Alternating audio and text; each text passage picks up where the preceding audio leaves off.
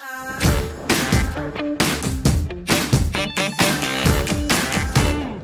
tá. É só pra mostrar que o protetor diário pode ser usado todo dia? Mas isso é um desafio?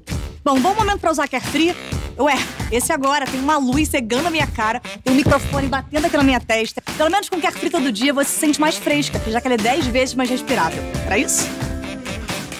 Ah, tá. Entendi. Todo dia tem um momento perfeito para você usar Carefree. É Eu posso provar.